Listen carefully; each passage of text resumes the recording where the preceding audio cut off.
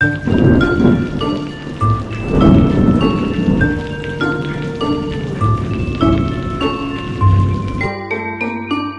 friends, and welcome to the video. This is a general collective reading for the week. So, we are after the full moon. We had that huge full moon in Sagittarius opposite the sun in basically Cancer or Gemini. Um, so, the sun is now going into the fourth house, which is Cancer, ruled by the moon. So, it's uh, very emotional, but it's a really good energy for summer. Um, we had that full moon in Sagittarius, releasing expansive emotions far reaching global. uh, the emotions are connected to globally related things with that. Um, it was connected to Pluto, so the emotions were supporting change. But I'm just going to go through and pull a general for the last week of June and see what comes up for everyone. This is not for a zodiac. This is just kind of the general energies that could be popping out. So Four of Swords, needing to rest. Something is being given to you that will, it's like a gift, but it can also be charitable.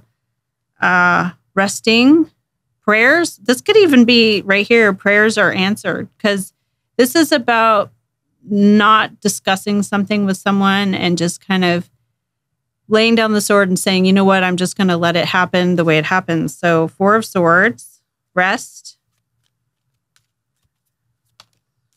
Yeah, there's too much work here. Nine of Rods in the crossing. This is like you care so much about this that you would literally kind of almost burn out. So, Nine of Rods in the cross. This is rest. This is like chill for the rest of the week. Just relax. Okay, we got the Empress, the goddess of great abundance, wealth, prosperity coming in, matriarch kind of energy. Um, it doesn't have to be, it can just be about the manifestation of just basically feeling like you have everything. You don't really need more. Um, two of coin in the past, having to manage a couple of things at once, maybe an emotional time.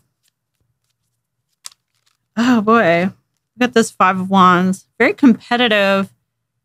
It could be like people care so much they want their business to work and you want your business to work, but there's a lack of agreement in this. But Five of Wands hones you, it sort of sharpens the sword for you to be better.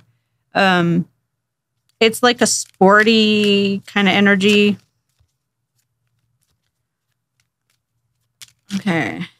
You're going to actually, like I just said, improve yourself. Maybe learn some more, get out a book, research, do some. This is the journeyman kind of learner, um, perfecting your craft.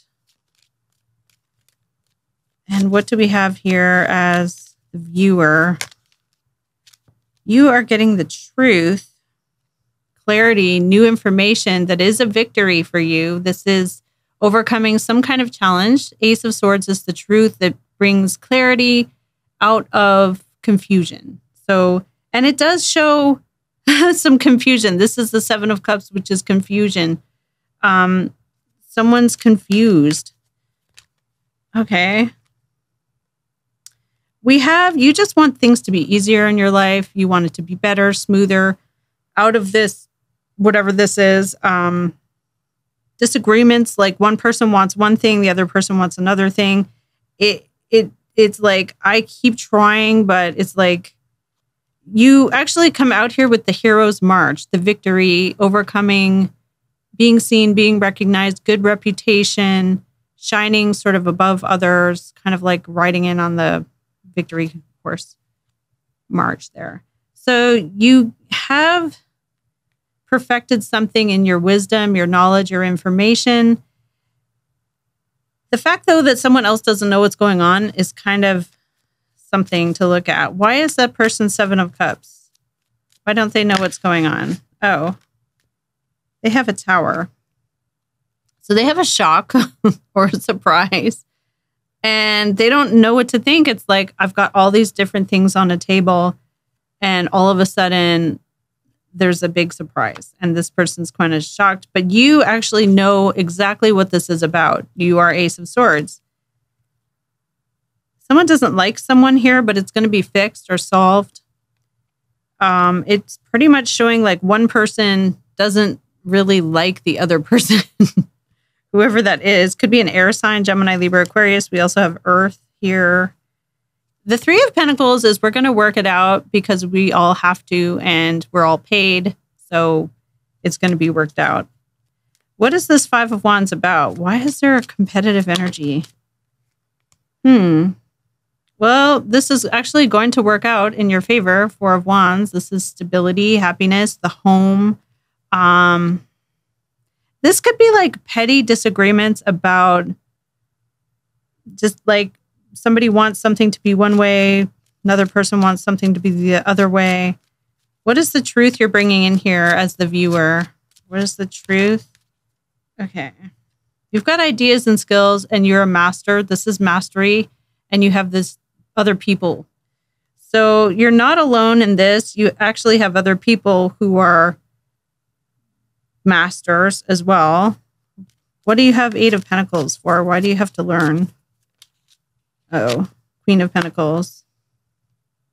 It could be financial, something about finances, money, uh, research, learning, um, filling out paperwork, paying close attention there could be a Taurus, Capricorn, Virgo, feminine that you're dealing with. What is this tower about, though? A king and the sun. Something comes to light about the lovers. So this could be something about a problem that may have occurred in the past that maybe you tried to get past. Um, it doesn't have to mean like romantic lovers. This is the lovers is something the way it was before it didn't go right. So it's like the way it was before. Reconciliation is the word. Reconciling. The sun on the King of Pentacles, Taurus, Capricorn, Virgo.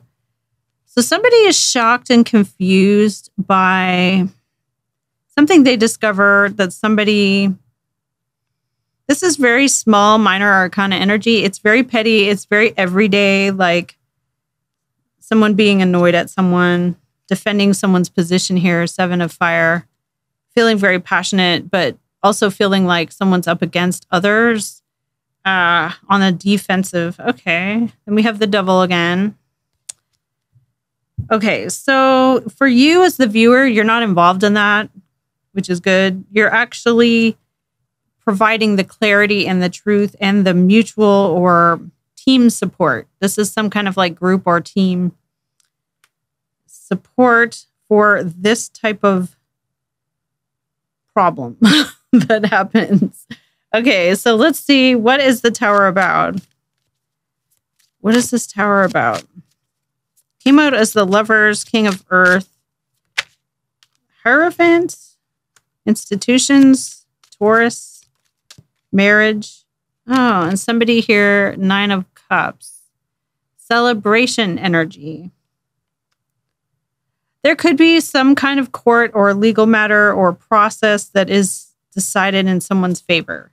Um, because, I mean, the outcome is this victory card. So it's overcoming a challenge, the world, and the emperor, and the high priestess, and the lovers.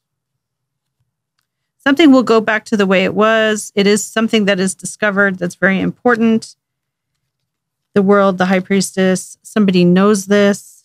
There is something about the victory of this emperor. So there is something about a win, uh, overcoming a challenge, possibly promotions. There is this five of coin underlying. So there is something that is needed, needed to be given or needed to be returned. Oh, and this Queen of Pentacles shows back back up again. Earth sign feminine energy, somebody feels like they're missing something. The Four of Wands is here behind it, though. They are going to get it. And the nine. Okay. So for the general collective, some of you are more like observing some kind of challenge going on this week. Um, and it will be overcome. So let's see what we get for the collective. Show us for the collective. Oh, a better choice. or um, maybe a child or child custody. Something here is about elevating, going up the stairwell, and then getting a better option.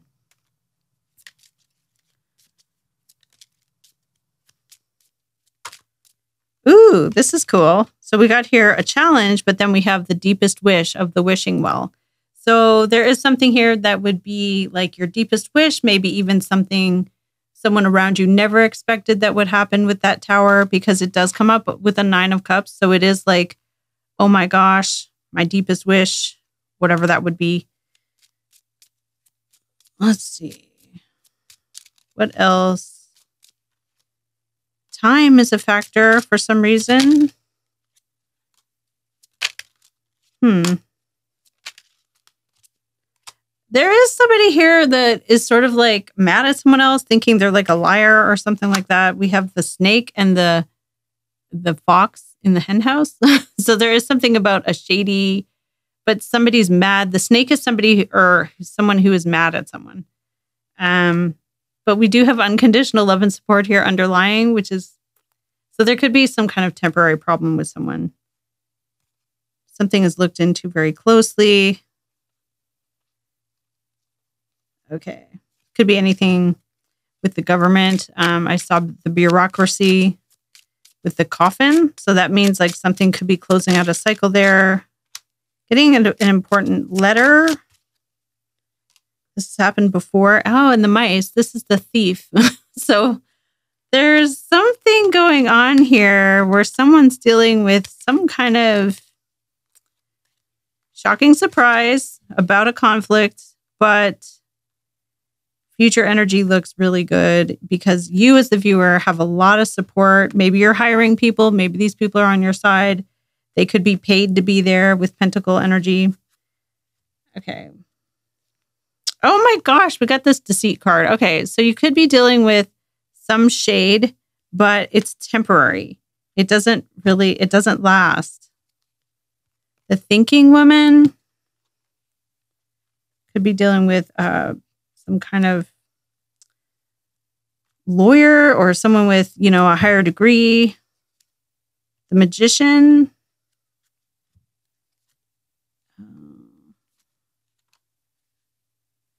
Okay. Well, someone is going to be shocked about something that occurs around them. Uh, you, as the viewer, come out as the hero. So, whatever this is here, it's not going to last. It's a temporary situation. So that's what I have for the collective. Thank you so much for watching this video, and I will see you in the next video. Bye, guys.